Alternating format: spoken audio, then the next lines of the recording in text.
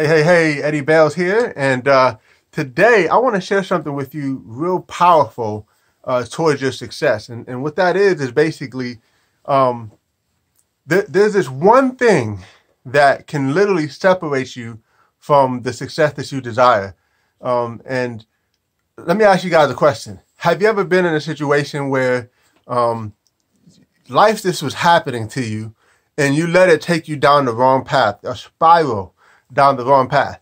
I want to share with you how to keep yourself out of that wrong path and keep stay on the right road to success, if that kind of makes sense. So let's just jump right in. It's basically emotional management. Very few people have a high level of emotional management.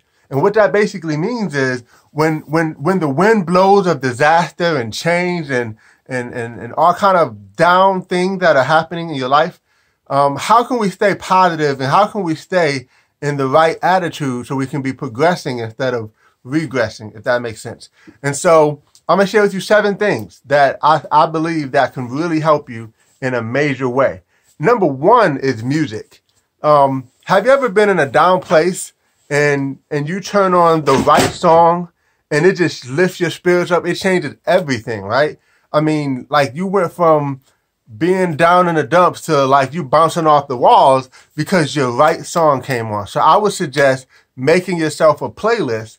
Um, you know, you might call it uh, your fun playlist, or I like to call mine my hype playlist. Like if I need to be hype, then I got my hype list, right? And then number two, this is this. It may seem crazy, but try it. Um, take a cold shower. Now, here's what's gonna happen. You're gonna jump in the shower and you're gonna be like five, four, three, two, one. Okay, let's do it. Oh, and then you just shock yourself. But then what happens is, um, you you for number one, you build your confidence level because you just you just said, okay, this is hard, but I'm gonna do it anyway, and you go do it. And so what also happens is you shock the nervous systems in your in your brain and in your body. So it, it literally recalibrates you. It gives you a boost of energy. It's just something that a lot of successful successful people do. Now I don't do it every day, but I have done it, and it trust me, it works really really well. Um, number three is uh, and, and hold on one second. Number three is is basically um, you want to uh, be in a state of gratitude, and you know this one is is like so so when things happen that are negative like let's just give an example. Let's just say you're coming out of the grocery store you got a bag full of stuff it's raining it's pouring and somebody bumps into you and it causes you to drop everything in the rain on the ground on your way to the car. So now you got to get, get down on your knees uh, in the rain and pick everything up. Now you have two choices. You always have two choices. You could be in a state of gratitude and you can be grateful and say, hey man, it's, it's no problem, it's all good. Um, and, and you go pick your stuff up and you're like, man, I'm just, and you're thinking to yourself, man, I'm just thankful that I even have stuff to go grocery shopping with. I'm, I'm thankful that I even have groceries to pick up and get because I know that there are people who don't have, right? And so when you just switch everything and change your mindset, then now you can be more in an empowering state instead of a disempowering state where you almost want to cuss the other person out and you're just in a bad place. And what happens is maybe something else happens and then something else happens. And next thing you know, you take yourself down that downward spiral that we talked about, right?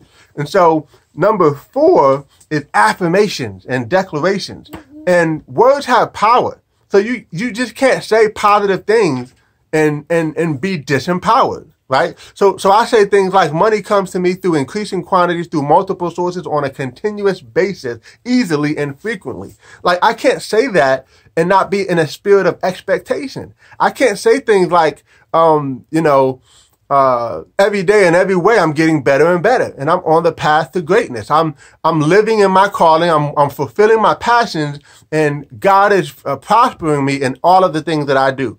I, I just can't say things like that and be disempowered, right? So that's number, number, I think number four is affirmations and declarations. Come up with your own affirmations and declarations and watch how that will, will really change things.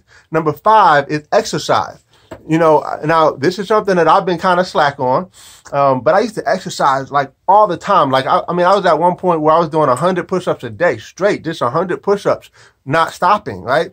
And I felt so energetic. I felt so, you know, my arm was getting a little swollen and stuff. It was getting bigger and I felt good, right? I felt confident. I felt positive, right? Now, I still feel confident and positive, but I felt a little bit more positive and a little bit more confident because I was exercising. So that would be number five. These are all things to help you continue to have a positive emotional state, no matter what's happening. So what I'm saying is the wind blows, something bad happens today but because I'm exercising, because I took that cold shower, because I'm t- saying my affirmations, and because I'm doing all these things, it just kind of brushes right off me. Like it doesn't even affect me because I'm doing these things. Make sense? Also, um, celebrating the small wins. And my favorite way of doing this is I have something called an emotional bank account. What is that? Well, um, just like a regular bank account, you can't take money out unless you put money in. And so I have an email folder and what I do is I store different different things in there. So, like for instance, if somebody compliments me on something that I did really great and it really affected them, or if I get an award or something like that, or I, I get some kind of recognition or something, anything positive that in a good place, I take it and store it. So, so when I'm in a bad place, I can pull it out and I can revive myself back up and make myself feel better, right? All right. The next one and this is the last one, is change your position.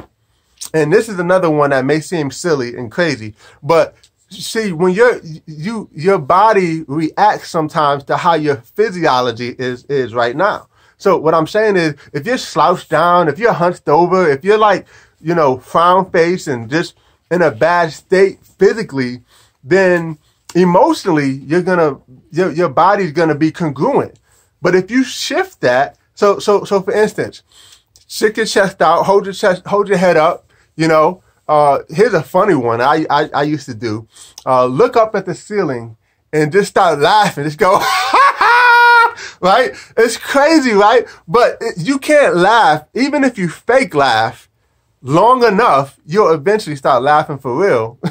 and eventually you'll be in a whole nother state right? So I'm gonna go over these real quick one more time. Change your music, change your affirmations, take a cold shower, exercise, have a spirit of gratitude, celebrate the small wins, and change the position. And you start to do these things, you'll have a high, a high level emotional um, intelligence, high level of emotional awareness, and it will shift how you operate your life. So I hope you guys got some value from this. And by the way, if you're looking at this video and you want to go into 2019 and you'd like to have another income stream, uh, right? Like you have one income stream, but you want to have a second income stream that doesn't affect the first income stream, right? So now you got two flowing into your household. Reach out to me. I'd love to have a conversation with you about that. But hey, listen, guys, God bless you. Hope you guys got some value and we'll see you all over the top. Take care.